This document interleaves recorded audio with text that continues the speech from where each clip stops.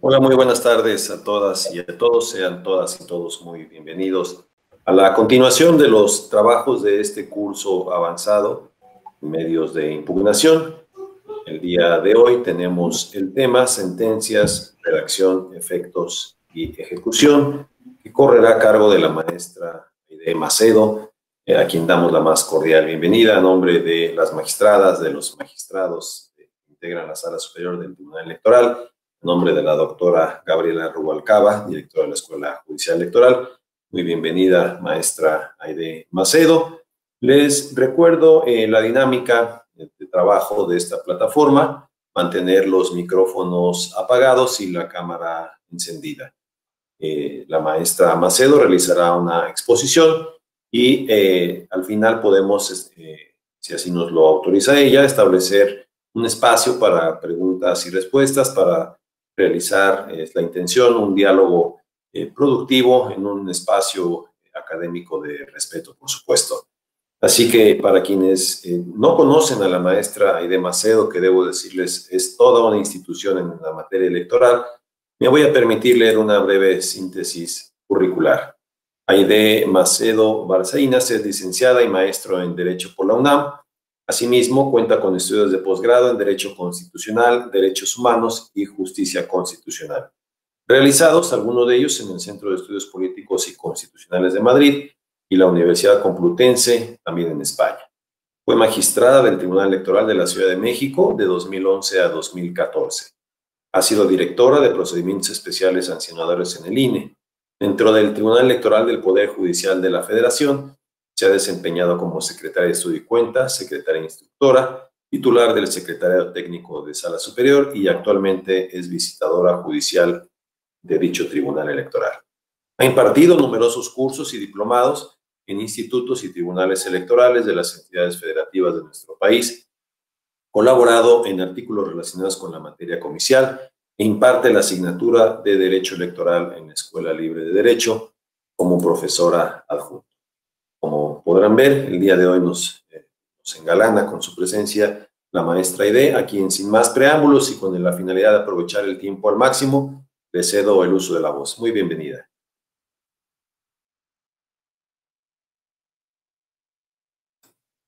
Muchísimas gracias, maestro Alejandro Camacho. Muy buenas tardes, tengan todas y todos ustedes.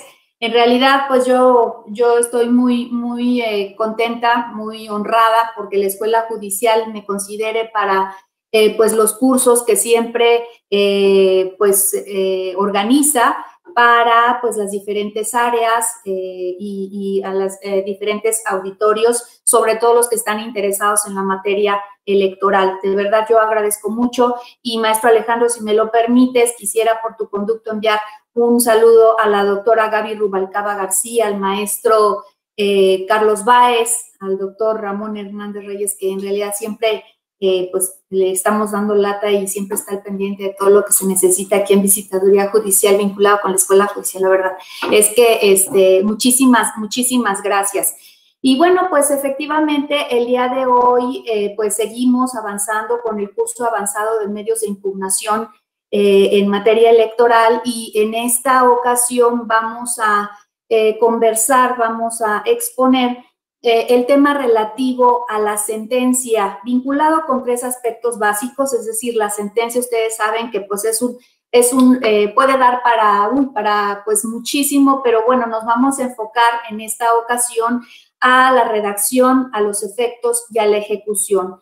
Para hacerlo un poquito más eh, pues didáctico, me, permití eh, traer a ustedes eh, una, una presentación PowerPoint en donde ahorita, a ver, no sé si ya la vean presentar, déjenme, nada más que sí, ténganme un poquito de paciencia porque como siempre digo, este, con estos ahora estas innovaciones tecnológicas sí me cuesta un poquito. A ver, entonces eh, veo, a ver Alex, como me explicaste. Sí, es, nos vamos a donde dice presentar ahora. Pero ¿qué crees que no? Está, no aparece mi, no aparece en la presentación PowerPoint. Déjame ver. ¿La, ¿La tienes abierta? La tengo abierta, sí, no la ven, ¿verdad? Aquí todavía. Es, no, hay que ponerle presentar ahora una ventana y entonces seleccionar. Presentar una ventana no está más que aparece sentencia, un documento que tengo en Word, pero no está la presentación PowerPoint, no obstante que ya la... Si quieres, lo que podemos hacer, mándamela por correo y yo la voy presentando y solo me vas. Ah, si, si me haces favor, entonces, a ver. Claro que sí. Sí, espérame. Solo yo al presentar no, no, no podré verlas. Eh, ustedes eh, les pido eh, si van escribiendo sus preguntas o al final levantar la mano y hacemos el intercambio para... Porque los pierdo de vista cuando presento. Ya, ok. Ahora no sé por qué te digo que no me aparece en compartir. Pero bueno, pues aquí ya. A ver, se supone que ya te la mandé, Alex.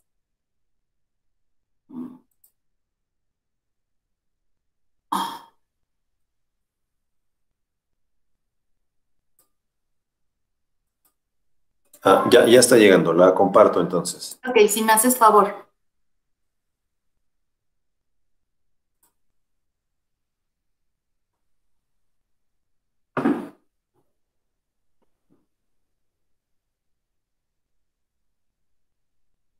Cuando aprovecho, aprovecho estos momentos para comentarles que si tienen alguna duda, alguna inquietud, alguna pregunta en algo que quizás este, pues ustedes tengan ahí, eh, pues no sé, alguna situación que quieran aclarar o cuando yo no, o cuando es decir, tengan ustedes alguna, pues no sé, que no haya sido yo suficientemente clara, eh, con toda confianza me pueden comentar, me pueden en ese momento levantar la mano Aquí yo veo, vamos, la, quién levanta la mano y este, pues vamos, si gustan, haciendo las aclaraciones pertinentes, ¿les parece? Bien, este, pues ya. Eh, entonces empezamos, Alex. Entiendo que entonces tú la, tú la manipulas, la, la, presentación. Bien. Eh, quisiera decir, empezamos con la primera, Alex, por favor. Ajá.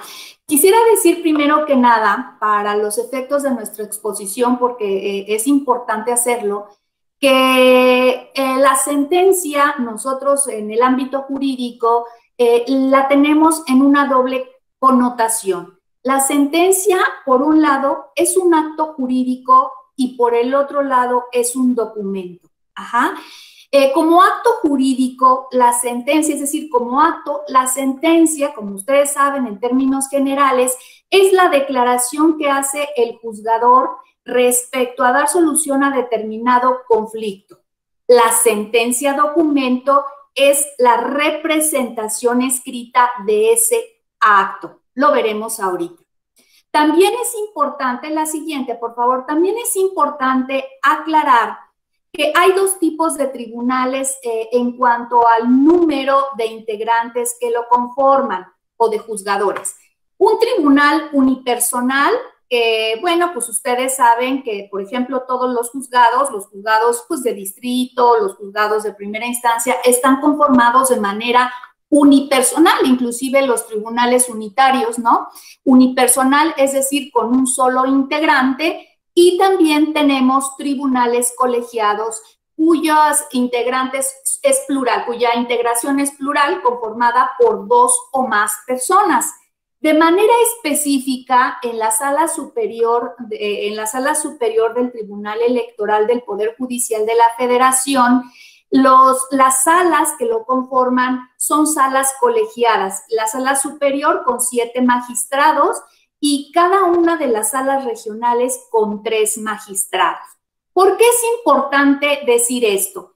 Porque para la integración de la sentencia, tratándose de tribunales colegiados, es necesario que se conforme esta voluntad, la voluntad eh, plural, para que se constituya en una sola voluntad que es la que decide. Eh, de manera que cuando un tribunal colegiado emite una sentencia, puede hacerlo de dos maneras, atendiendo a si están o no de acuerdo con eh, pues, el documento que se presenta. Eh, es decir, el documento y el proyecto que se presenta. Puede ser por unanimidad de votos, es decir, cuando todos los integrantes del colegiado, eh, vamos, estén de acuerdo, estén de acuerdo con las razones y los puntos de decisión que conforma la sentencia. Ajá. Es decir, todos están de acuerdo en la propuesta que se hace de solución al conflicto y entonces hablamos de una, una decisión por unanimidad. Cuando también nos podemos enfrentar a que eh, parte de esos integrantes de este órgano colegiado eh, presenten diferencias de criterio en cuanto a la decisión de un asunto. Y en ese caso hablamos que eh, una decisión se aprueba por mayoría de votos.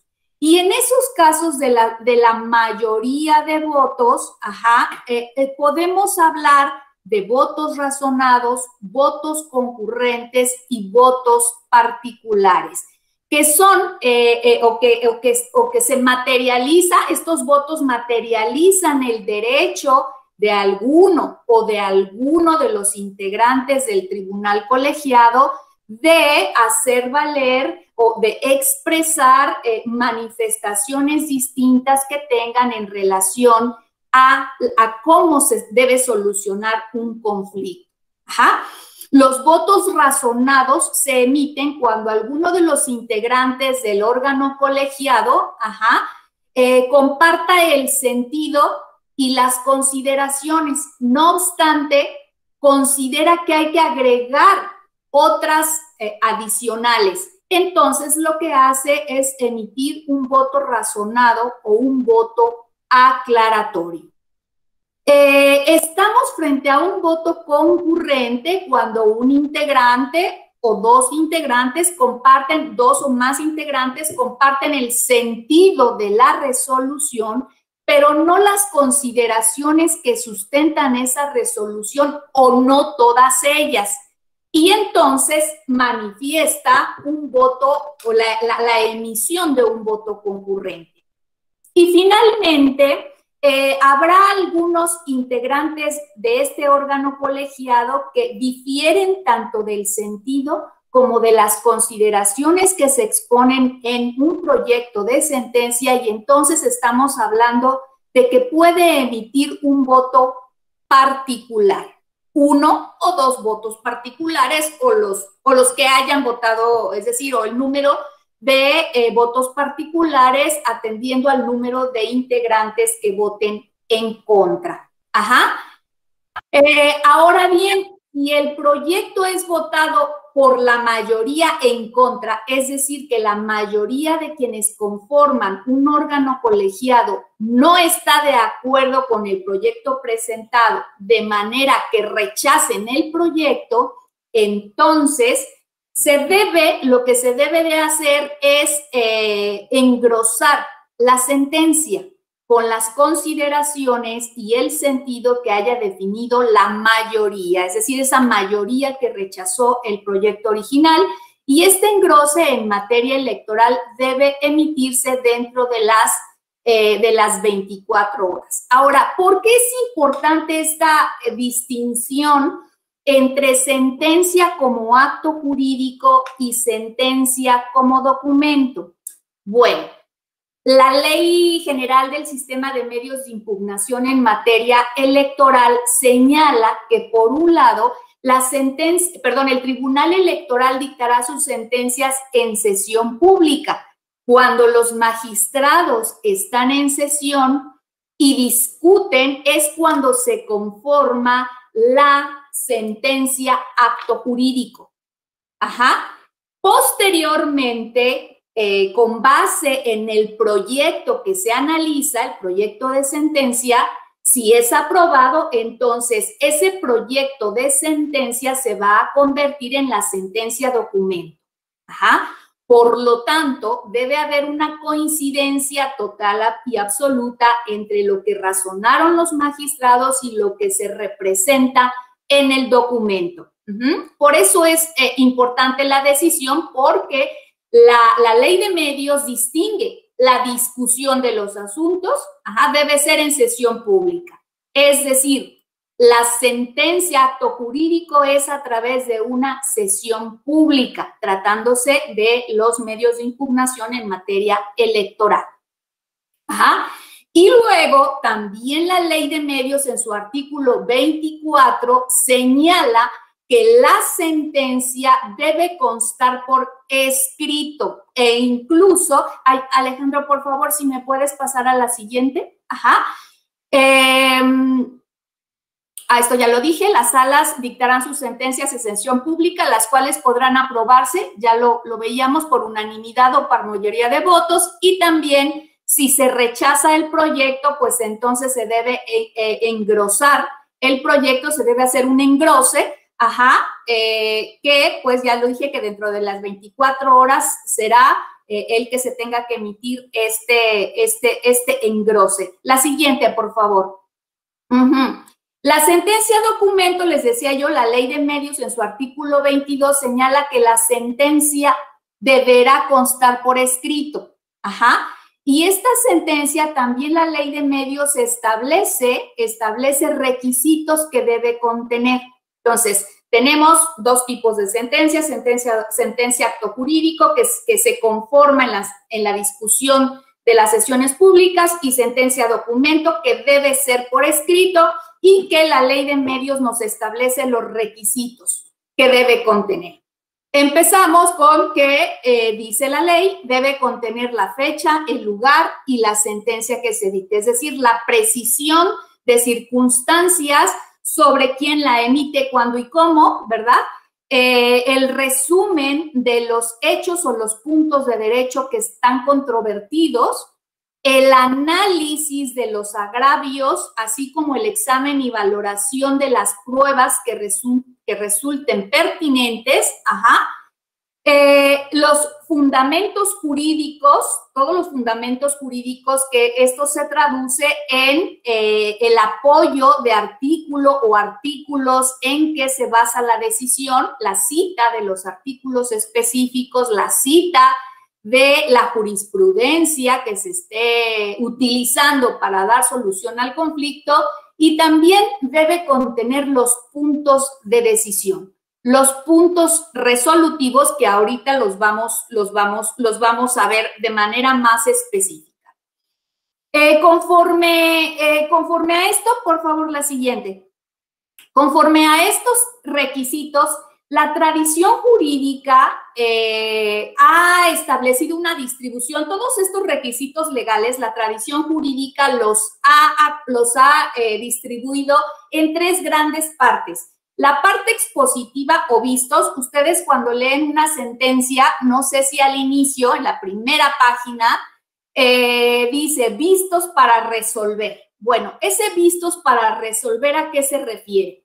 Es una síntesis de todo el estado del, eh, del proceso, es decir, cómo inició, es decir, es una descripción de la cadena impugnativa, de cómo se inició, eh, todo el, el, proceso, cuál es el acto impugnado, cuál fue durante, cuál fue toda la cadena impugnativa que se desarrolló, ajá, para llegar al estado en que ahora se encuentra el proceso y respecto del cual se va a dictar la sentencia. Esta, esta eh, fase, esta primera fase es una fase expositiva, es decir, de exposición o descriptiva. Aquí solamente es una narración de todo lo acontecido en el proceso. ¿Cuál? Pues lo que resulte relevante para entender el proceso. Ajá. Eh, después viene una segunda parte que es una parte medular trascendente en cualquier sentencia, que es la parte considerativa o considerandos, que es en donde el tribunal, en donde el juzgador eh, lleva a cabo un análisis de la problemática, de los planteamientos jurídicos que se le exponen. Es decir, ahí analiza los argumentos que se hacen valer para, eh, pues, eh, para que posteriormente en una tercera fase emita la decisión, que es la parte resolutiva o se resuelve, que es la que sintetiza, es la conclusión, la síntesis de toda la argumentación que eh, se expuso, que se desarrolló en la parte considerativa. Ajá, ahí es cuando realmente se toma la decisión y la parte considerativa eh, establece el desarrollo argumentativo, el desarrollo em, lógico jurídico que eh, lleva a cabo el juzgador para, para tomar una decisión en algún sentido, que ahorita lo vamos, lo vamos a ver. Ajá. Bien, considerando estos aspectos generales de la sentencia, entonces me parece, Alejandro, si me ayudas, por favor. Ajá. Considerando todo esto, entonces ya podemos hablar de la redacción de la sentencia. Quise darles una, una introducción muy, muy rápida a todo esto para ya adentrarnos en la redacción de la sentencia. Eh, eh, bueno, a ver, hay varias, hay varias, hay, bibliografía, inclusive el Tribunal Electoral, eh, pues ha editado, publicado un libro sobre la sobre redacción de sentencias, una, una propuesta que se hace, ¿verdad?, para la redacción de las sentencias. Eh, también, eh, pues hay varias, hay, varias bibliografías. Yo hice, o sea, yo recogí como que lo más, lo más, eh, vamos, importante de todos los documentos en los que, en los que, en los que me, en los que me apoyé. Y fíjense que a mí me pareció muy interesante lo que señaló la Cumbre Judicial Iberoamericana, que es un organismo de cooperación, concertación e intercambio de experiencias que conforman las máximas, las máximas em, instancias de los poderes judiciales, en este caso de la región iberoamericana, integrada por 23 países, en el caso de Iberoamérica, entre ellos, por supuesto, México, eh, que eh, tiene representantes en, la, eh, en esta cumbre, en esta cumbre judicial iberoamericana, a través de la Corte, de la Suprema Corte de Justicia y del Consejo de la Judicatura. Bueno, esta cumbre judicial iberoamericana hizo énfasis en, en, la modernización de la justicia y señala que la modernización de la justicia va, más allá del uso intensivo, el uso intensivo de estas nuevas tecnologías, ¿no? Eh, y de la mejora del modelo de gestión de recursos públicos que se generan con la utilización de las tecnologías. Ahora, pues eh, el tema, el tema de, de los juicios en línea y todo eso. Pero destaca una cosa muy importante. Dice que una justicia moderna es una justicia que las personas sean capaces de comprender. ¿Por qué? Porque dice que la ciudadanía se enfrenta a una problemática muy fuerte la falta de comprensión o su dificultad ante una redacción, ante una redacción rebuscada de las sentencias, saturada de tecnicismos o incluso carente de razonamientos o argumentación. Y entonces dice que la sentencia puede y debe cumplir una función pedagógica para la sociedad, hacia la sociedad. No solamente quedarse en la emisión de la sentencia para aquellos involucrados en los conflictos, no, sino que tiene que ser extensiva a toda la sociedad en el sentido de que se comprenda por ellos. Esto tiene que ver en el fondo, como ustedes saben, en una transparencia, ajá, en el, eh, cruza por los temas de transparencia y de rendición de cuentas. Se, eh, eh, debemos considerar que la administración de justicia, la impartición de justicia es un servicio público y es un servicio público del cual también se tienen que rendir cuentas. Y la manera en que, en que un tribunal es transparente y rinde cuentas es una de esas maneras, es a través de las sentencias. La ciudadanía tiene que entender cómo resuelven los tribunales, qué resuelven los tribunales. Y para ello se exige que los juzgadores, los tribunales, evidentemente entre ellos los de materia electoral, tengan que, eh, tengan que redactar sus sentencias con un lenguaje ciudadano, con un lenguaje claro, con un lenguaje en el que cualquier persona con independencia de la profesión eh, que tenga, con independencia inclusive del, nivel educativo que tenga, pueda comprender esas sentencias. Dice esta cumbre que una buena, esta cumbre judicial iberoamericana que una buena resolución debe permitir a cualquier lector, a cualquier lector, es decir, no lo limita a las personas que formaron parte de la litis, ni lo limita a los abogados, sino cualquier persona, cualquier lector debe permitir a cualquier lector identificar con facilidad y claridad estos siguientes puntos que ahorita los someto a consideración de ustedes. La historia procesal del caso, el problema o los problemas a dilucidar, la respuesta al problema que da el tribunal, el tribunal resolutor, las razones de hecho y de derecho, que no son otra cosa que los argumentos en las que se basan esas respuestas, los efectos de la determinación final y la conclusión o puntos resolutivos. Eh, esto, evidentemente, pues parecería, parecería, pues parecería, vamos, fácil. A veces no es así, ¿eh? eh esta también, esta cumbre, eh, a ver, este, Alex, por favor, si me puedes, eh, aquí está. Esta cumbre eh, iberoamérica, esta cumbre judicial iberoamericana, señaló que la claridad en la expresión oral y escrita incrementa la seguridad jurídica y permita que las personas conozcan sus derechos y obligaciones sepan cómo y ante quién hacerlos valer e incrementa la confianza y la participación en las instituciones.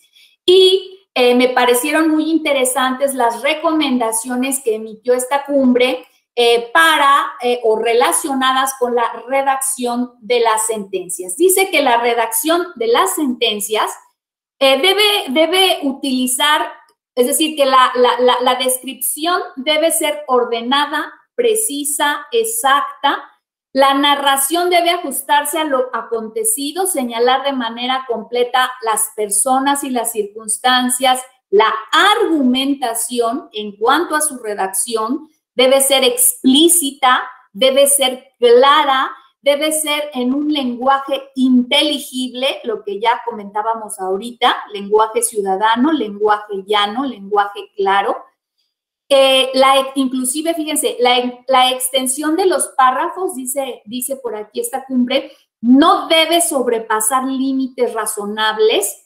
¿Por qué? Bueno, un límite razonable, ella, misma, ella misma lo maneja, dice, el párrafo debe contener una sola unidad temática, es decir, un argumento, una idea.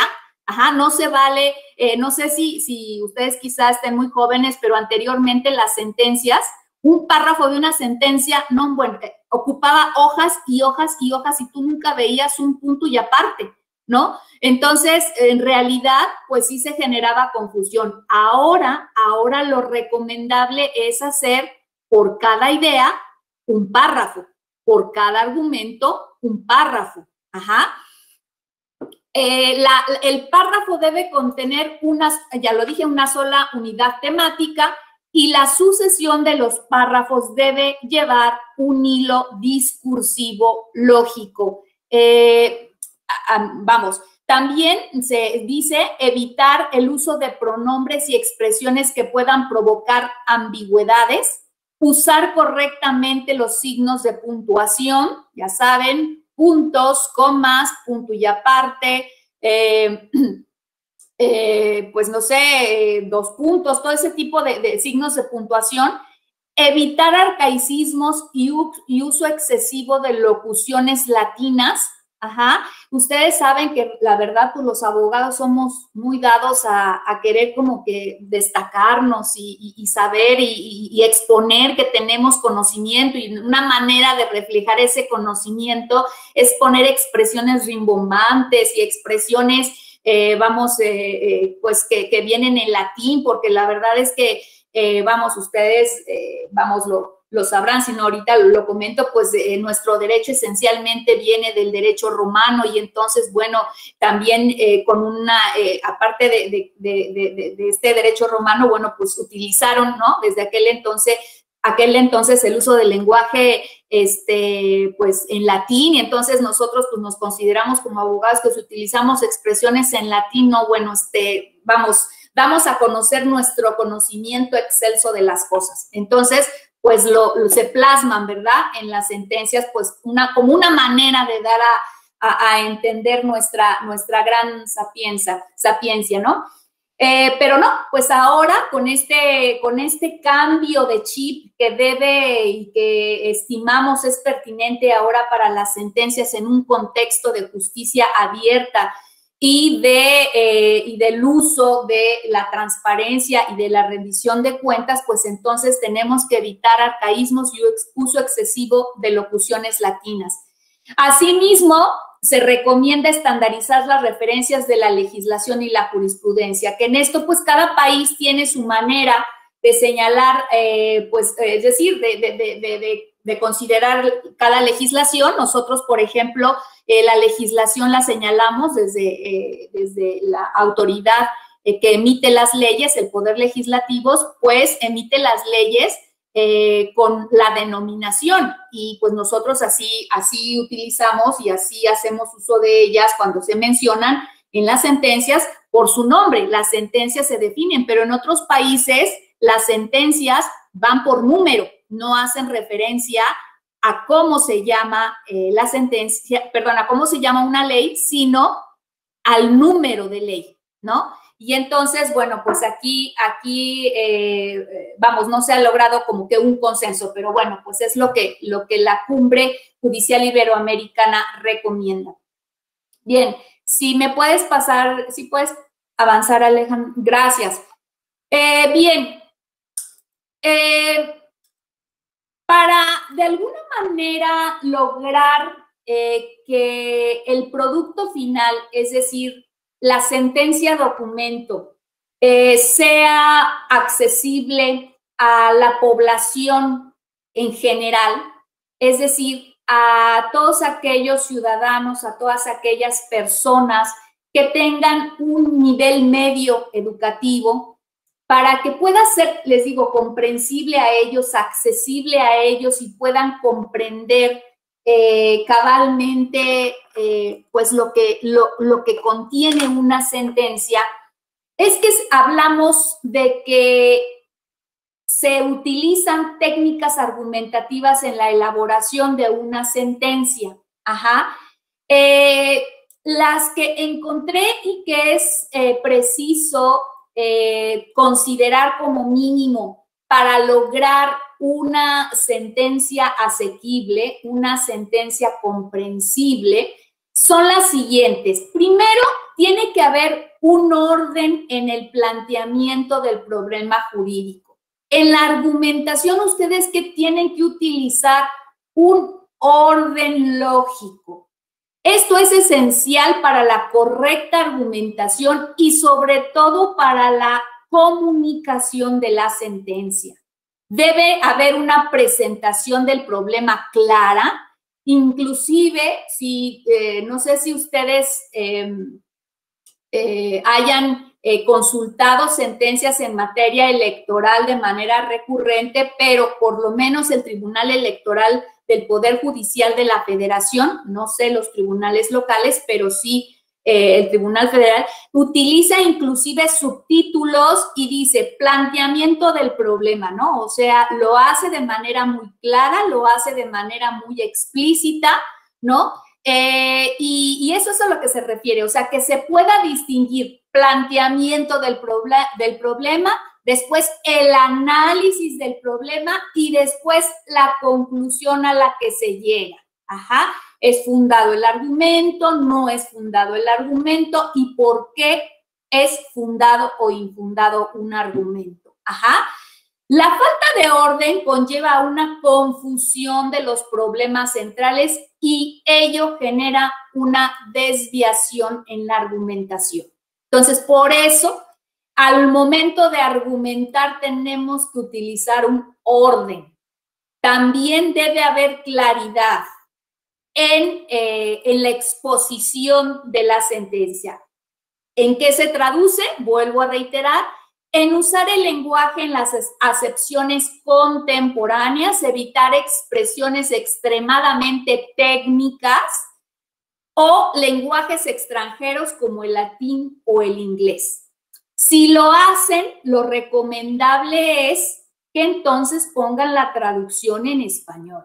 Ajá de preferencia evitarlas, pero si no lo quieren hacer porque pues ustedes estiman que, que, no debe ser y que bueno, pues técnicamente así se llama una figura, bueno, pues entonces colocar también la traducción en español para que la gente eh, se entere a qué se refiere con esa expresión en latín o en inglés o en cualquier otro idioma. Asimismo, Deben prever eh, el, empleo de elementos con estructuras gramaticales simples, con enunciados cortos y básicos y comprensible para todo el público. Ajá. La finalidad, vuelvo a reiterar, es que el lector pueda entender el contenido, el contenido del documento sin que necesariamente cuente con un entrenamiento jurídico. Ajá es decir, no solamente los abogados, sino que se entere cualquier persona con un nivel medio de educación. Y aquí resulta importante, pues, lo que se llama o lo que hemos denominado lenguaje claro y lenguaje incluyente, que ahorita vamos a regresar. Lenguaje claro, ya les dije, es lenguaje, eh, pues, evitando expresiones técnicas, evitando eh, lenguajes extranjeros o, expresiones en, lenguajes extranjeros, en latín o el inglés, eh, y sobre todo el utilizar expresiones con acepciones contemporáneas. Ajá. Es decir, utilizar un lenguaje común. Lo que se, esto se puede traducir en utilizar un lenguaje común, que la gente entienda a ver, sí les puedo decir, a ver, eh, eh, eh, ya lo vuelvo a, comentar. para nadie es un secreto la dificultad de, los, jueces em, de ser claros ante un público no entrenado legalmente. La verdad es que a los juristas vamos, como que la claridad a lo mejor no es, no es lo nuestro, lo nuestro, lo nuestro, ¿no? Entonces, sí necesitamos el que, el que, vamos, el bajar el nivel del, del, del, pues de los argumentos en el sentido de utilizar términos claros, de utilizar términos comunes. Ajá.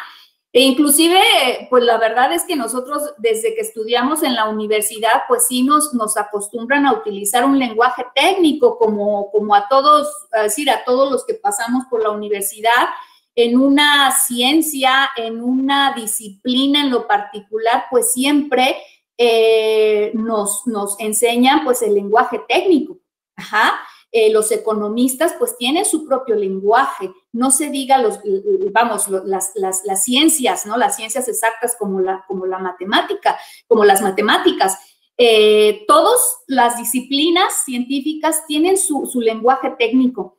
Entonces, eh, de lo que se trata para nosotros los juristas, para los juzgadores que emiten las sentencias, es de no utilizar o utilizar en la menor medida ese lenguaje técnico al momento de redactar las sentencias y utilizar lenguaje común. ¿Por qué? Porque cambiamos ahora la mentalidad de que esas sentencias no deben ser exclusivamente para la consulta de la comunidad jurídica, sino para la consulta de toda la ciudadanía. Ajá.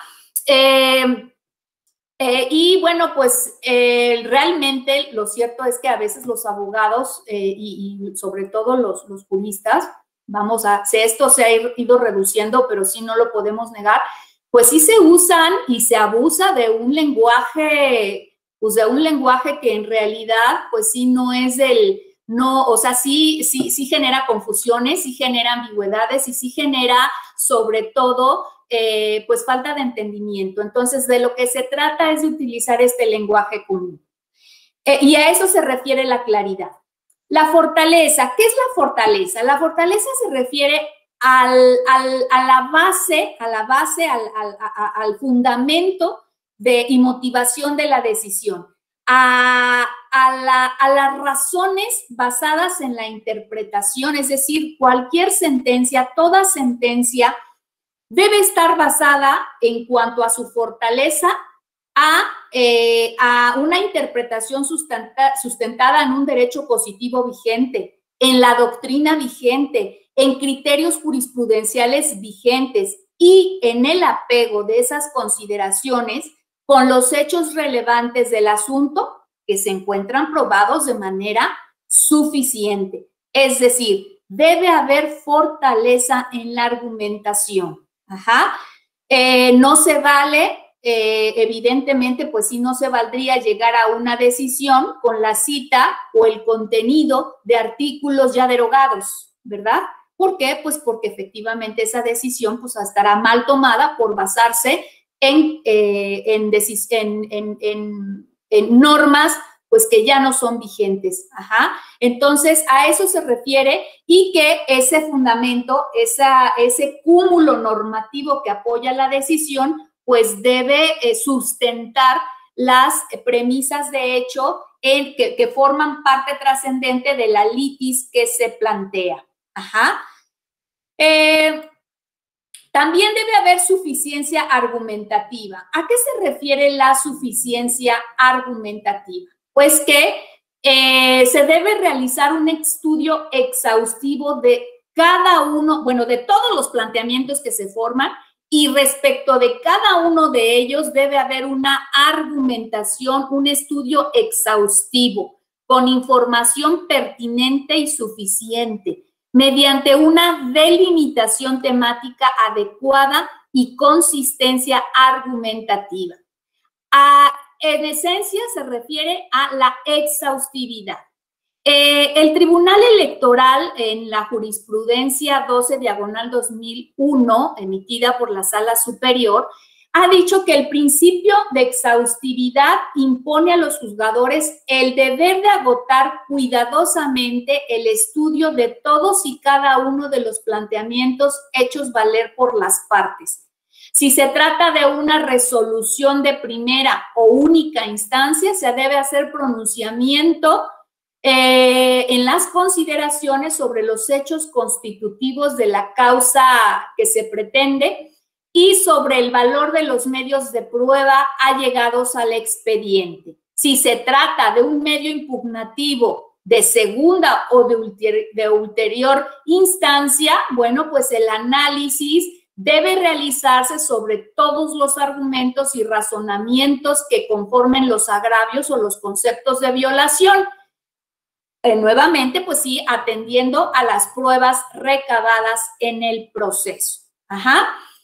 Eh, otro de las, otra de las, de las cuestiones que tiene que ver con las técnicas argumentativas que tenemos que considerar para que una sentencia eh, sea también accesible eh, es la coherencia, que es la necesidad lógica que tiene toda argumentación de guardar consistencia entre los diversos argumentos empleados de manera que esos argumentos no se contradigan unos con otros. Incluso eh, puede hablarse de que la coherencia también eh, implica que es, la sentencia se emita en concordancia con los precedentes que ya se han emitido en casos similares. Ajá. Es decir, un tribunal tiene que tener coherencia en sus en sus este, argumentos, en sus consideraciones. Eh, no vale que en,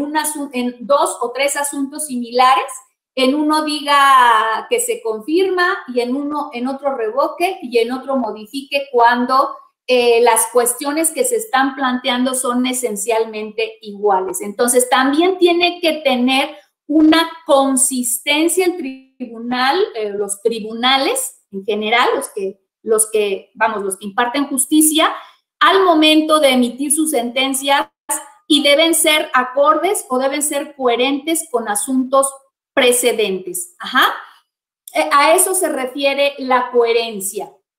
¿Por qué? La coherencia es muy importante porque con base en eh, ello, pues los justiciables, las personas que acuden a los tribunales y la ciudadanía en general ya saben qué esperar de eh, los tribunales. Es decir, ya saben qué criterio adoptan ante asuntos similares, lo cual otorga certeza, lo cual otorga seguridad a la ciudadanía. Y por eso es muy importante el que los tribunales guarden una coherencia en sus decisiones. Ajá. Eh, en relación con este punto, es muy importante destacar este, la jurisprudencia 28 diagonal 2009, que también es emitida por la Sala Superior de este tribunal, en el que señala eh, que toda sentencia debe guardar una congruencia externa e interna. Congruencia externa eh, debe entenderse en que la sentencia debe ser plenamente coincidente entre lo resuelto y lo planteado. Es decir, no debe introducir aspectos que no le fueron planteados ni puede omitir el estudio de planteamientos que se le hicieron. Y la eh, congruencia, la congruencia interna consiste en que la sentencia eh, no debe contener consideraciones contrarias entre sí o entre la consideración y los puntos resolutivos. Ajá. Entonces, debe haber una congruencia interna en el documento, pero también una congruencia externa. Eh, la diagramación también es otra técnica argumentativa que refiere a la redacción del texto en la cual es indispensable, ya lo habíamos visto con base en las recomendaciones de la Cumbre Judicial Iberoamericana, es indispensable el uso de signos de puntuación que dividan gráficamente unos argumentos de otros. Debe haber un interlineado amigable al lector, que haya una separación clara entre argumentos, inclusive el uso de subtítulos, el uso de, de síntesis, ¿no? O sea, no desarrollar eh, tratados en una sentencia, tratados eh, doctrinarios, ¿verdad? Propios de, desarrollo doctrinario, no, sino ser, sino ser, eh, sino abordar el planteamiento en su justa medida y dar una respuesta en su justa medida. Ajá. y eso, eso es lo que, vamos, eso es lo que les puedo comentar en cuanto a técnicas argumentativas que son comunes para lograr una sentencia eh, en cuanto a su redacción, una sentencia eh, accesible a la ciudadanía. Ustedes, claro, esto, a ver, esto no se puede lograr más que, eh, vamos, más que utilizando, la, es decir, bajo la práctica, ¿no? Bajo la práctica, bajo la práctica, pero desde, desde un inicio es importante considerar estas, estas cuestiones para, pues, ir, irnos entrenando y cuando ustedes estén eh, ajenos a la litis o sean ajenos a las litis, pues sí exigir a los tribunales que utilicen, hagan uso de estas, de estas herramientas y, de, de, las recomendaciones que se usan en la redacción de eh, las sentencias, pues para que tengan un conocimiento cabal. Eh, ustedes saben que también lo que tiene que ver con la redacción, ah, este, Alex, por favor, la siguiente. Ajá, ustedes saben que también eh, en, las últimas, en los últimos años eh, se ha dado mucho impulso a la igualdad entre, entre hombres y mujeres y a, sobre todo, la igualdad de oportunidades de las mujeres eh, en su participación política, que en realidad, pues sí es muy distinta a la, a la de los hombres, porque, bueno, pues las mujeres siempre hemos estado, históricamente se ha estado en una situación de discriminación, en una situación de, eh, pues, de un trato diferenciado respecto de los hombres, eh, por, pues, porque así ha sido la cultura. ¿Por qué? Pues porque la cultura ha desarrollado estructuras eh, de dominación de un, de, un, de un sexo sobre el otro que desde mi particular punto de vista, pues no, no, es no, no se justifica. Entonces, eh, ahora con esta situación de eh, evidenciar o de eh, hacer patente la igualdad entre hombres y mujeres, también debemos cuidar en la redacción de las sentencias el uso de un lenguaje incluyente. Ustedes saben, o por ahí dicen, que lo que bien se dice, bien se entiende. Entonces, entonces, sí debemos utilizar un lenguaje incluyente y eh, evitar transmitir la discriminación a través de la lengua. Eh, ustedes saben que pues, se ha hecho un uso sexista también de la lengua. Ajá. Eh, por ejemplo, miren ustedes, ahora sobre todo el idioma español nos, nos, nos, nos es como que un, lenguaje, una lengua muy, muy icónica, muy, muy clara, de cómo eh, desde el lenguaje eh, la inclinación siempre es darle un, peso a lo masculino, ¿no? Entonces, eh, miren, ustedes, es muy normal que nosotros digamos, por ejemplo, hagamos nombre o pronombre de aquellos que sepan firmar para referirnos a hombres y mujeres. Ajá. No decimos aquellas, decimos aquellos, que parecería que hace referencia, pues, o, más bien refiere a un lenguaje masculino. Entonces, evitar este tipo de pronombres eh, que, que ponen énfasis en lo masculino y hacer unas afirmaciones más incluyentes, unas expresiones más incluyentes, por ejemplo, evitar el pronombre aquellos para decir quiénes, ¿no? Por ejemplo, aquí tengo un ejemplo, miren. Aquellos que sepan firmar, que lo hagan al final de la hoja. Entonces, lo recomendable es decir, quienes sepan firmar, que lo hagan al final de la hoja. Ajá. ¿Por qué? Pues porque quienes no hace referencia exclusiva a, a un género masculino o femenino, sino que es una expresión que engloba a ambos. Otro ejemplo, aquel que quiera impugnar deberá acreditarse. Aquel, bueno, pues mejor utilizar quien quiera impugnar deberá acreditarse. Ajá. Dice otra, otra, cuando uno no tiene identificación, todo es más difícil. Cuando uno, ajá, parecería que se refiere o, o hace énfasis en lo masculino. Bueno, pues utilizar cuando alguien no tiene identificación, todo es más difícil, ¿no? Si uno escucha la sesión pública, bueno, pues en vez de decir si uno escucha la sesión pública, pues tratar de, decir si alguien escucha la sesión pública, ¿verdad? Porque esa, esa expresión alguien pues no hace énfasis en un, en un sexo o en otro. Ajá. Muchos dudan si votarán o no. Ah, muchos dudan, hace énfasis en lo masculino. Entonces podemos utilizar otras expresiones como muchas personas dudan si votarán, ¿no? Eh, ¿Por qué? Pues porque personas alude a hombres y mujeres. Eh, pocos son los beneficiados por la sentencia. Bueno, pues a lo mejor si utilizamos en lugar de pocos una minoría, una minoría es beneficiada por la sentencia, bueno, pues entonces eh, hacemos eh, uso de un lenguaje incluyente. Ajá. Entonces, es así que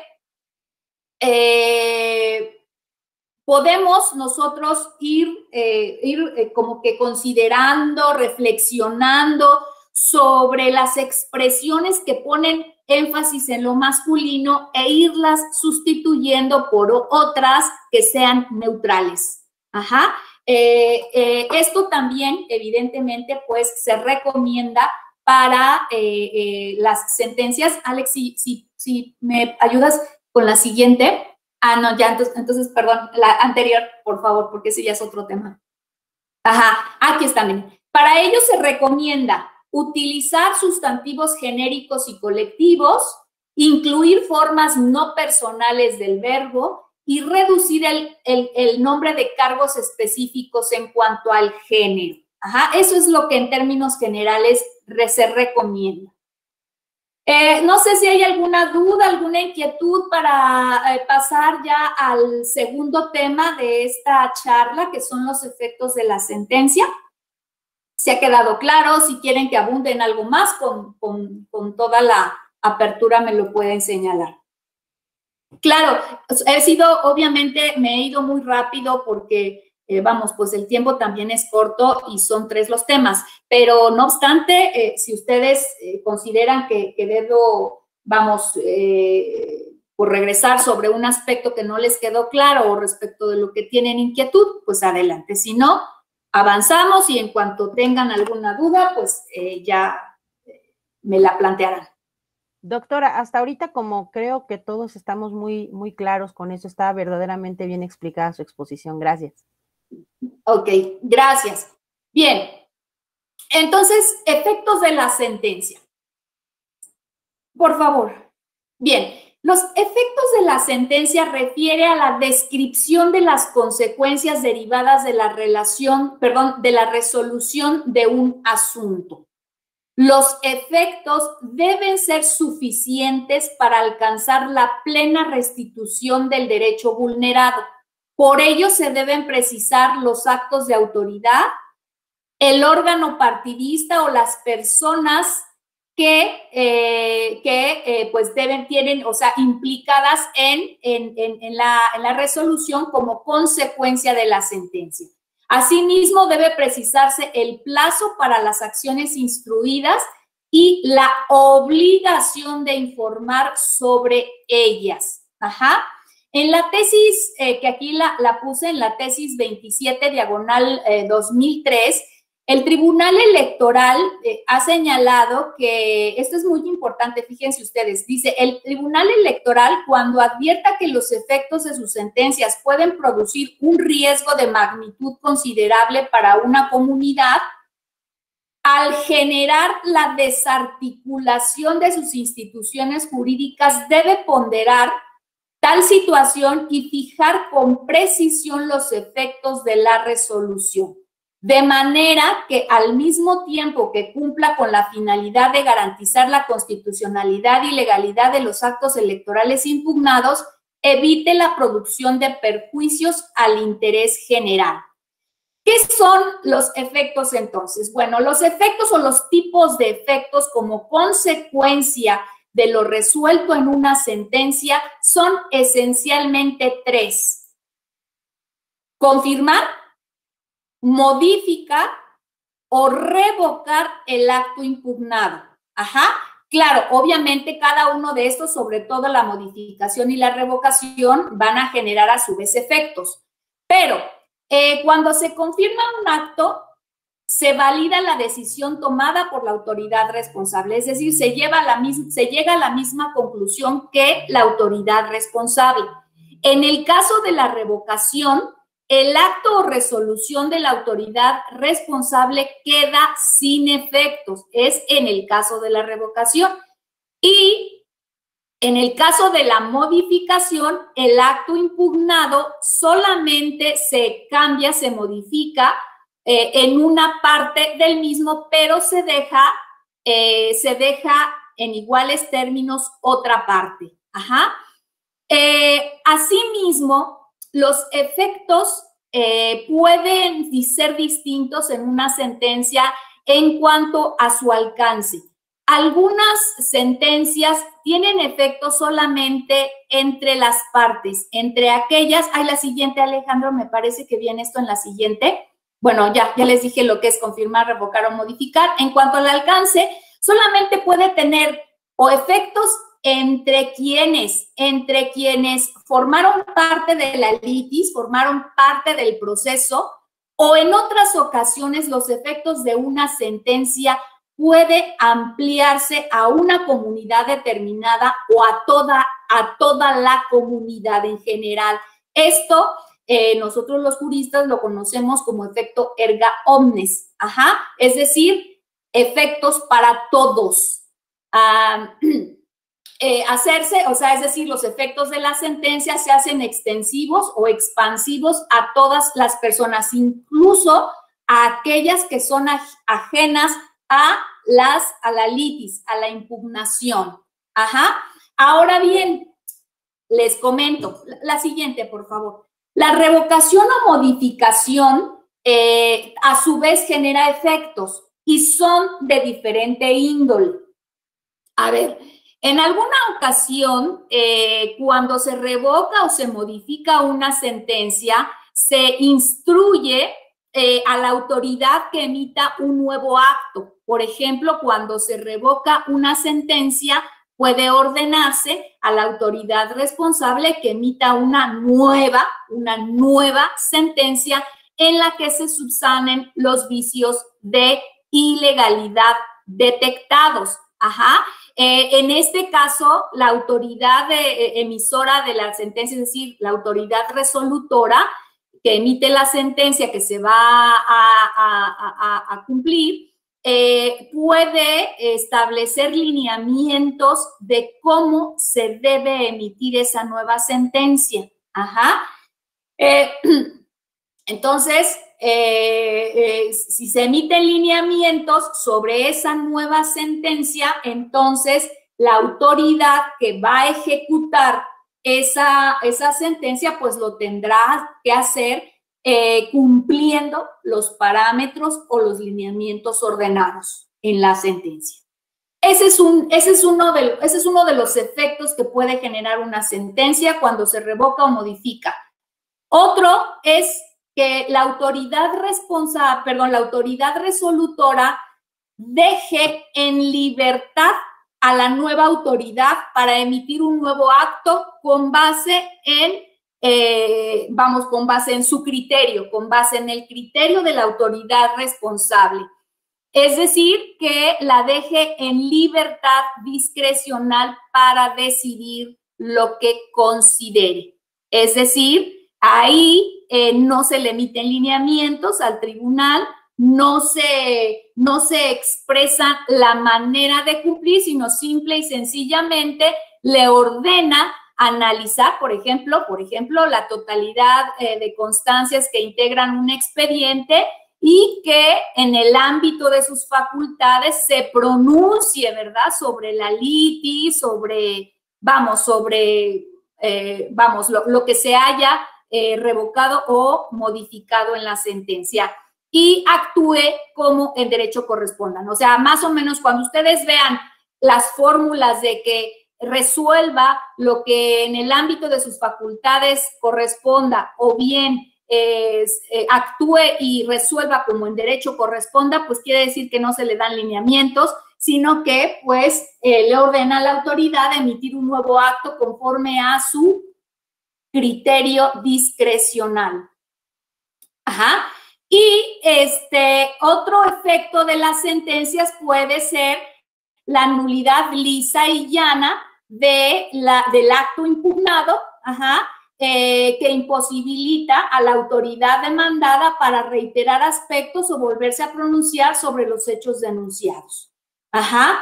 Como por ejemplo, aquí traigo un ejemplo que se dictó en el RAP, en el RAP eh, SUP, RAP, RAP-diagonal, perdón, guion, 209 diagonal 2018, en donde la conclusión se revoca la resolución impugnada lisa y llanamente, ya que se considera que existieron violaciones graves al procedimiento. Ahí, eh, en realidad, ya la autoridad responsable no tiene que hacer absolutamente nada, simple y sencillamente su acto, el que fue impugnado, se revocó, se anuló. Ajá. Entonces, aquí debemos considerar que subsiste, que subsiste la situación que imperaba hasta antes de dictarse el acto impugnado.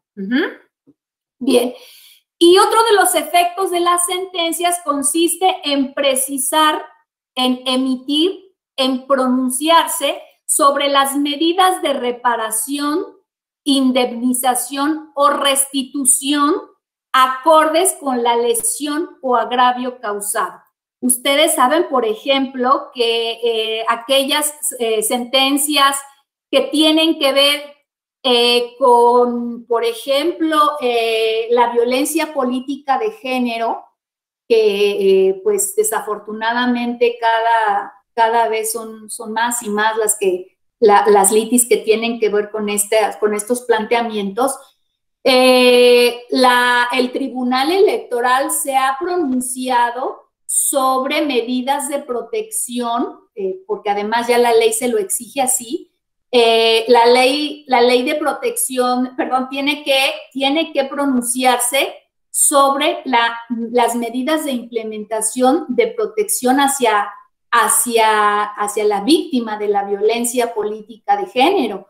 Eh, yo recuerdo, por ejemplo, en el caso de, en la que se impugnó eh, la violencia política de género en contra de una de las candidatas en una alcaldía de la, de la Ciudad de México, en, el caso específico de Coyoacán, la sentencia fue SUPRS 1388 diagonal 2018, en donde se analizó y se determinó que sí había habido violencia política de género en contra de, la candidata María de Lourdes Rojo. Eh, eh, bueno, pues se dictaron medidas tales y muy precisas, medidas tales como eh, como pues en primer lugar brindarle la protección específica en cuanto a su integridad, integridad personal. Entonces, se dictaron medidas para, para garantizar su seguridad e integridad personal. Ajá. También generar, se les se ordenó a las autoridades correspondientes generar una serie de actos y normas que de manera efectiva y real prevengan la comisión de nuevos hechos de violencia política por razones de género en perjuicio no solo de María de Lourdes Rojo, sino de todas las mujeres que participen en los procesos electorales de la Ciudad de México. Vean ustedes, serie de normas inclusive, es decir, están aquí, eh, están, emitieron aquí eh, medidas eh, normativas incluso, ¿no? No solamente para garantizar la seguridad e, e integridad personal de la persona que fue víctima en particular de una irregularidad, en este caso de violencia política de género, sino también eh, una sentencia que dictó medidas normativas para evitar en lo futuro este tipo de actos. Vean ustedes que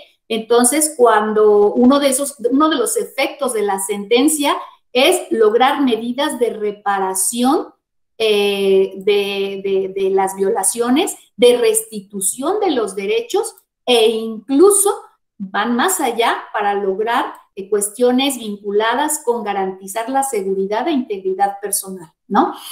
Eh, esto es muy frecuente también cuando tienen que ver, cuando los involucrados en materia electoral tienen que ver con comunidades indígenas. También se hacen, eh, se hacen pronunciamientos y los efectos de la sentencia son muy precisos en cuanto a medidas vinculadas con este, la protección de comunidades indígenas y sobre todo de los pasos que tienen que llevarse a cabo para cumplir una sentencia tratándose de usos normativos internos que tienen que ver con comunidades indígenas. Eh, esto es lo que yo podría eh, comentarles para efectos de esta charla, eh, lo que tiene que ver con los efectos de, de una sentencia. Ajá, no sé, hasta aquí alguna, alguna duda, alguna inquietud o, al final lo vemos. Bueno, seguimos entonces adelante, que ya nada más nos falta el, tema que tiene que ver con el cumplimiento y con la ejecución de las resoluciones. Eh, la anterior, Alex, o ya la cambiaste, ¿verdad? Sí, ya, ya, perdón, perdón, ya estamos, sí, ya. Ajá. Bien, en cuanto a la ejecución de las sentencias, una vez que en una sentencia ha quedado precisado eh, muy, eh, con mucha claridad cuáles van a ser los efectos de la sentencia, eh, sobre todo de aquellas, de aquellas resoluciones que, revocan o anulan, perdón, que revocan o modifican entonces, tenemos que ver otro aspecto muy importante de las sentencias, tiene que ver con su ejecución, con su cumplimiento. Ustedes saben que el derecho a la tutela efectiva, la tutela jurisdiccional efectiva, que es una garantía, que es un derecho humano previsto, reconocido por el artículo 17 de nuestra Constitución Federal, eh, no solamente, es decir, este, este derecho no solamente involucra o consiste en que se dicte una sentencia. De nada nos serviría el que se dicte una sentencia si esta sentencia no, se, si de esta sentencia no se logra su cumplimiento. Entonces, la tutela judicial efectiva implica dos cosas. La emisión de una sentencia, pero también, no menos importante, el cumplimiento o ejecución de la misma, porque solamente hasta que se cumple o se ejecuta una sentencia es cuando vamos a ver eh, resarcido el derecho que fue violado.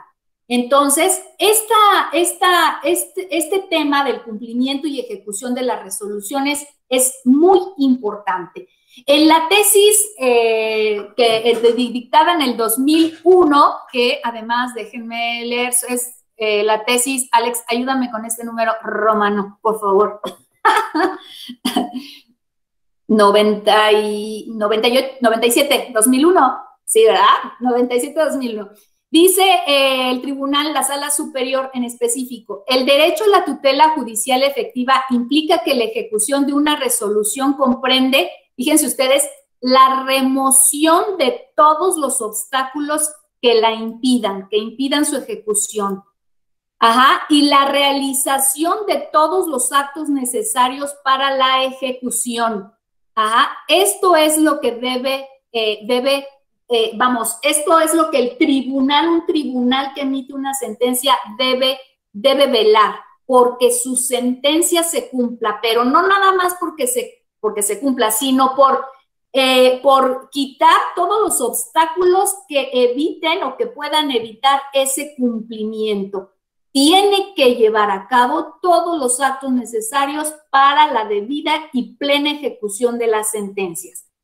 Vuelvo a repetir, de nada serviría tener una sentencia con, negritas en los puntos resolutivos de, de, protección de los derechos, ajá, si en el caso no se ejecuta. No nos sirve, no nos sirve una sentencia pegada en un cuadro. Nos sirve cuando se hacen los actos pendientes a su ejecución y esa ejecución se logra de manera cabal y materialmente. Ajá.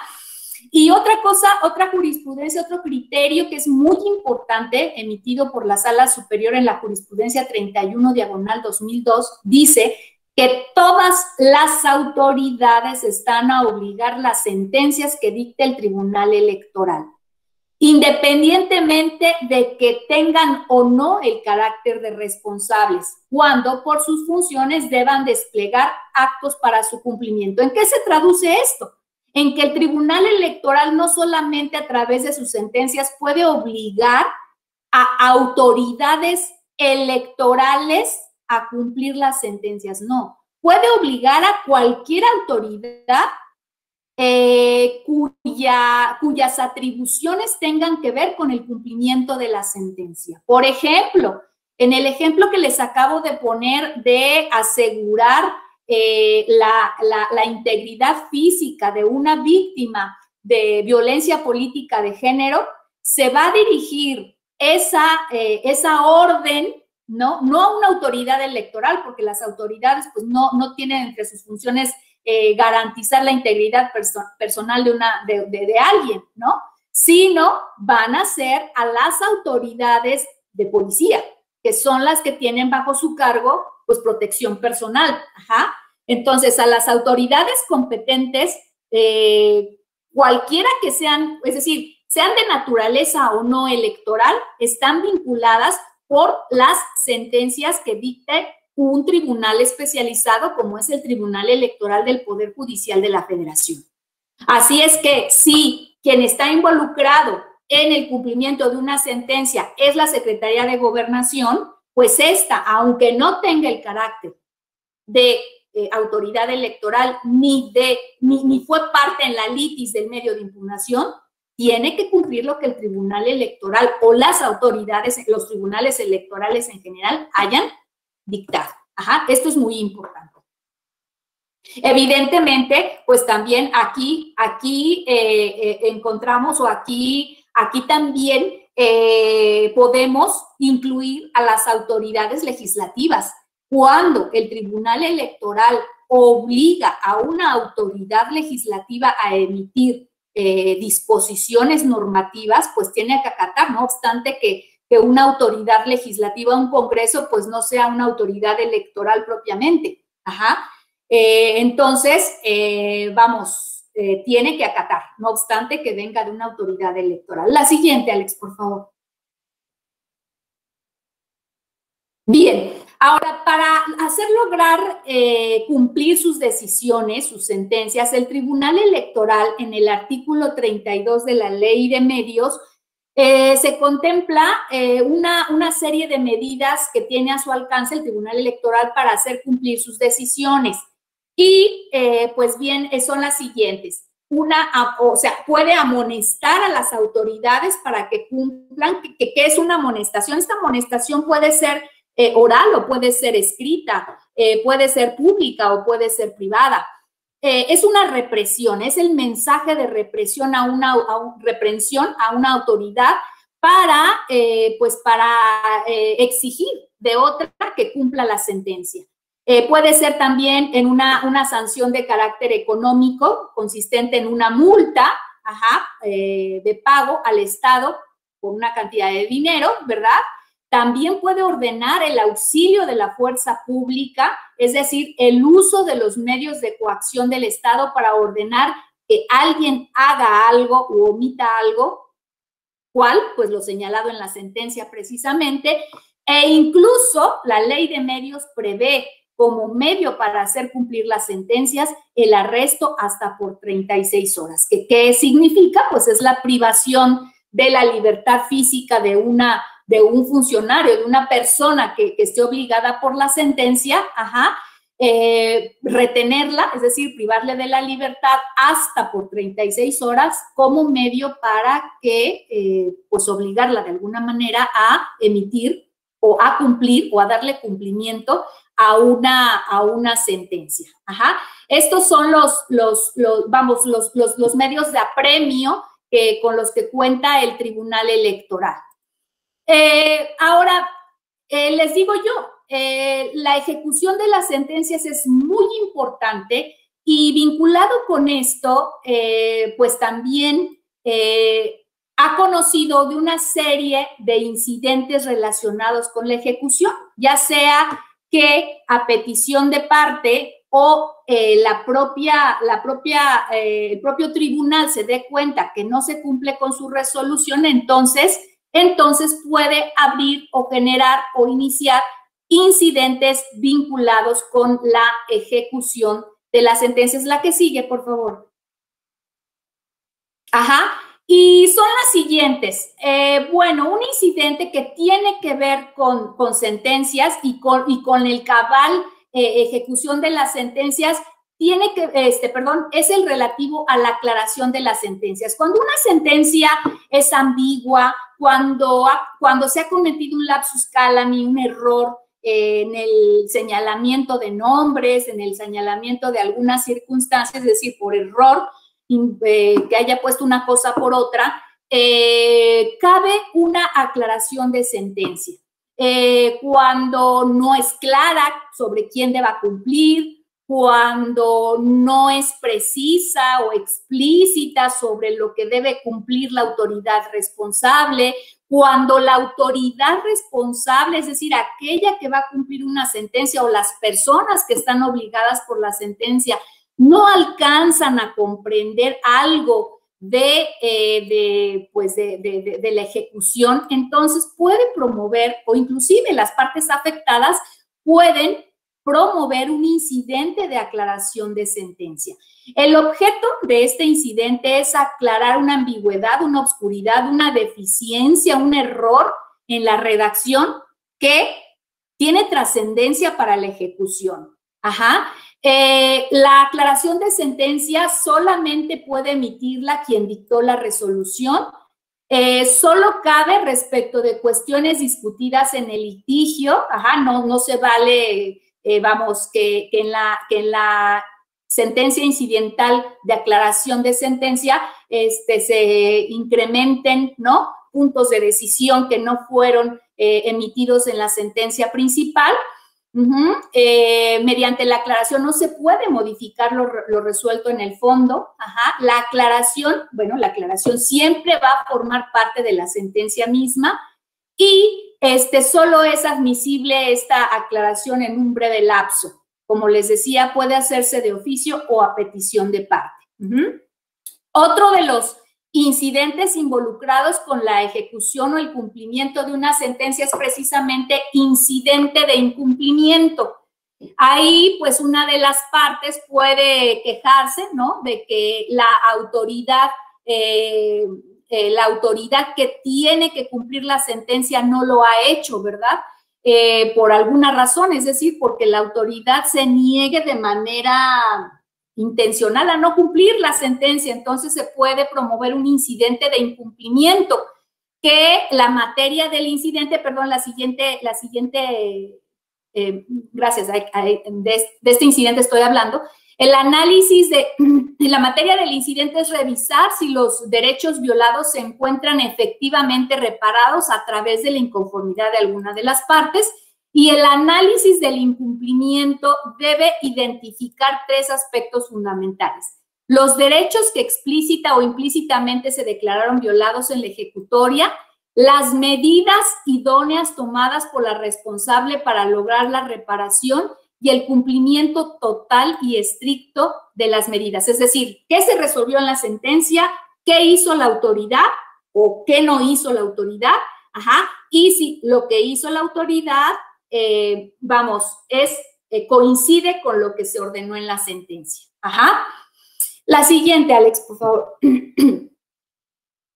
Bien, otro de los incidentes es el incidente de imposibilidad de cumplimiento de sentencia. En este tiene que ver cuando la autoridad responsable, es decir, aquella que tiene que cumplir con la sentencia emitida, pone de manifiesto pone de manifiesto con pruebas fehacientes que hay una imposibilidad jurídica o material para su cumplimiento. Entonces le dice a la autoridad resolutora, ya es que sabes que no puedo cumplir con la sentencia porque pues ya no, ya eh, vamos a, vamos a suponer, ¿no? Este, ya no, ya, ya pasó el término, ya pasó la elección, ya no puedo volver a, eh, a llevar a cabo, ¿por qué? Pues porque ya hay un ganador, ¿no? O sea, vamos a suponer una imposibilidad jurídica o material de su cumplimiento. Imposibilidad jurídica, pues puede ser porque también se haya jurídica o material, pues porque haya fallecido la persona eh, respecto de respecto de, respecto de aquella que se violaron sus derechos. Ajá. Entonces, esta, eh, esta eh, tiene que ver cuando es la autoridad responsable la que aduce que no es posible llevar a cabo el cumplimiento de la sentencia, les digo, por una imposibilidad jurídica o material. Eh, en, las, en la jurisprudencia diagonal 2014 emitida por la Sala Superior, eh, dice que solamente, solamente el propio tribunal, el tribunal resolutor, está facultado para determinar cuáles sentencias son inejecutables.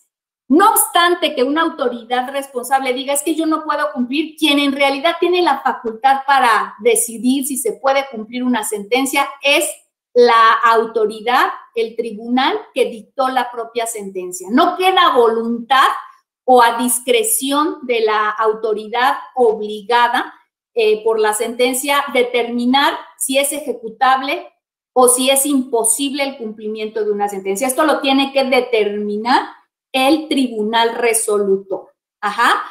Y eh, finalmente, el incidente de cumplimiento deficiente o defectuoso de la sentencia es cuando se detecta que la autoridad responsable fue, eh, se quedó corta en el cumplimiento de lo ordenado por el tribunal, por el tribunal resolutor. Cuando eh, solamente dio un cumplimiento parcial o bien cuando hay un cumplimiento defectuoso, imperfecto, no cabal. En ese tipo de, en ese tipo de casos, ese, pues se puede promoverse por parte de quien se sienta agraviado eh, un, perdón, un incidente de cumplimiento defectuoso o deficiente de la sentencia. Esos son en esencia los cuatro incidentes que tienen una vinculación con la total y cabal eh, ejecución y cumplimiento de las sentencias. Eh, no sé, hasta aquí el tiempo creo que nos ha absorbido, pero eh, no obstante quedo a sus órdenes para cualquier comentario, cualquier inquietud, que trataré de resolverla con mucho gusto. maestro.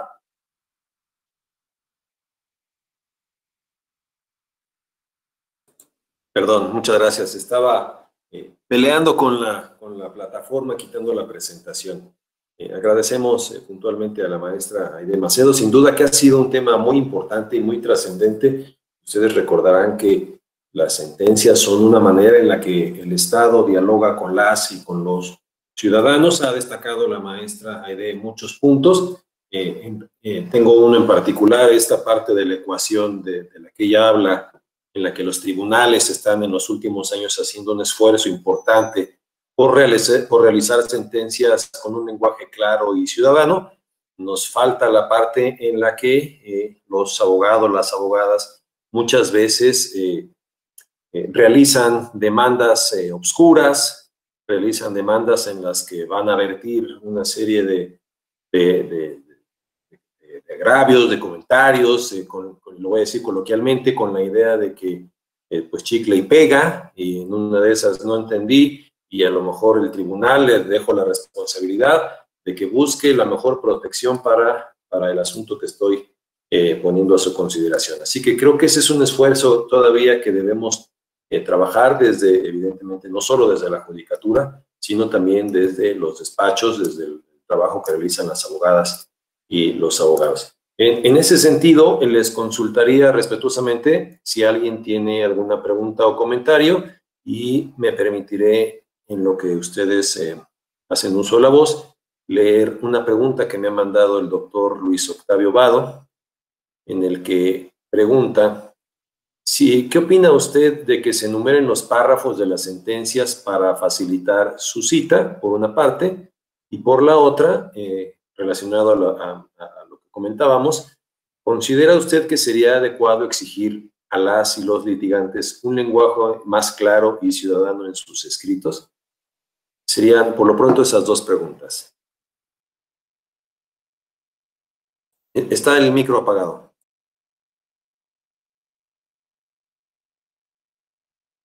Muchas gracias, sí, muchas gracias. Alex. Este, sí, a ver, en cuanto a la numeración de los párrafos, eh, advierto yo que sí eh, da mayor claridad, es una medida eh, para dar mayor claridad y sobre todo precisión de cuando se discuten los asuntos, ¿no? De, es decir, los proyectos de resolución, cuando se hace la cita de las consideraciones en una, vamos, se hace referencia a esta sentencia, pues da, da claridad, da mayor precisión en cuanto eh, a, a, lo que se señala, a lo que se señala en, al contenido propio de la sentencia. Entonces, me parece que es una medida eh, que puede aportar claridad y precisión, definitivamente. Eh, y tengo entendido que en sala superior algunas ponencias lo hacen, otras no. Eso ya depende del estilo de cada uno de los, de los, de los ponentes, de los magistrados ponentes, pero desde mi particular punto de vista es una, es una medida adicional que puede, eh, que puede generar, que puede otorgar eh, mayor precisión y eh, claridad. en cuanto a la segunda pregunta, que es en relación, Alex, a si debería ser exigible a las abogadas, ah, los abogados litigantes, un lenguaje más accesible. Sí, me parecería que sí, es decir, a ver, eh, todos los documentos, todo la, vamos, cualquier redacción, yo creo que es, es perfectible, pues, eh, por más que nos esforzamos, por más que, este, vamos, eh, hacemos todo lo posible, tanto, tanto litigantes, tanto eh, pues autoridades, juzgadoras, eh, para pues redactar los documentos y tratar de que estos queden eh, con la mayor claridad posible, pues yo creo que un documento siempre va a ser perfectible. Y por supuesto sería deseable que no solamente la, la claridad, la, la, la, formación de documentos con reglas que tengan que ver con coherencia, con la serie de técnicas argumentativas que expuse, eh, no solamente caben para las sentencias, sino también puede eh, ser aplicable a los documentos que eh, las partes o que los litigantes o, aquellos ciudadanos que acuden a los tribunales en petición de justicia pueden utilizar en sus propios documentos. Esto evidentemente sería, sería una medida que, que pues el tribunal le, le serviría muchísimo para eh, resolver eh, también con mayor precisión las cuestiones que luego se plantean, que en ocasiones pues sí, también resultan obscuras, también resultan ambiguas, entonces eh, pues facilitaría mucho la labor del tribunal. Muchas, muchas, gracias. Veo por ahí la mano de Laura, si nos ayuda Laura con su pregunta o comentario, por favor. Hola, doctor. Doctora, nuevamente yo para agradecerle esta exposición en la claridad, así como, como debemos de, entender que deben ser todos los documentos emitidos por autoridades. Y eh, un saludo al doctor Octavio Vado y sus clases de abogañol, de bajarlas del abogañol al español, que es justamente la materia de esta clase, ¿no? Hacer las sentencias y cualquier escrito de autoridad, e incluso de parte de los, de los ponentes, claras y, menos rebuscadas y menos latinazgos y menos este, anglicismos y menos inserciones raras. Entonces, muchas gracias, de verdad, ah, excelente seminario. Gracias. Muchas gracias a Laura por el, por el comentario. Eh, hay algunas felicitaciones a las que por supuesto nos sumamos que estamos recibiendo en las redes sociales, pero eh, les consulto nuevamente si alguien tiene alguna duda, algún comentario. de, no ser así. Eh, maestra Aide, si nos puede, por favor, dar un mensaje final. Sí, muchas gracias. Pues de verdad les agradezco mucho, eh, le agradezco mucho a la Escuela Judicial, a la doctora Gaby Rubalcada, de verdad que me haga partícipe de estas actividades de la Escuela Judicial, lo cual hago con mucho gusto. Eh, a ti, maestro Alejandro Camacho, eh, también a, pues ya lo dije al inicio, ¿no? al doctor Carlos Báez, al, maestro eh, Ramón Hernández, eh, a todos por hacerme partícipe de estas actividades, yo lo hago con mucho gusto. Y comentarles a los participantes en este curso de medios, de, curso avanzado de medios de impugnación que quedo y que sigo a sus órdenes, no obstante esta charla que ha sido muy, pues muy, vamos, una hora y media, eh, no pudimos, o sea, es eh, imposible abarcar en una hora y media, eh, pues todos los temas que involucra una sentencia, siendo esto pues un, un acto pues con el que, culminan los procesos, ¿no? Por lo tanto, pues principal, esencial, ¿no? esto da para mucho más, pero bueno, pues dado el esquema que se planteó para el curso, contamos con una hora y media y bueno, pues la exposición está. Eh, si les sirve la presentación, pues con mucho gusto está ahí a la disposición de la Escuela Judicial para que se las haga llegar. Y no obstante eso, quedo a sus órdenes por cualquiera, por cualquier inquietud, por cualquier cuestión que quieran abordar, que quieran que, amplíe, ¿no? Eh, mi correo es aide.macedo arroba tribunalelectoral.gov.mx. Ahí, en verdad, eh, pues quedo a sus órdenes, me mantengo a sus órdenes, pues. Muchísimas gracias, maestro Alejandro, muchas gracias. Muchas gracias a la maestra Aide Macedo por esta, como ella misma lo ha dicho, una clase muy concreta. Ustedes lo saben, la escuela tiene un taller de sentencias que dura seis, eh, tiene seis clases. Tenemos un seminario completo de incidente de inejecución de sentencias, así que valoramos mucho y agradecemos este, este esfuerzo y esta claridad con la que la maestra Aide nos ha acompañado en este tema que es tan importante. Les recuerdo y les invito que continuemos el día de mañana, pero no sin antes pedirles que me ayuden abriendo su micrófono y dando un fuerte aplauso a la maestra Aide Macedo. Muchas gracias.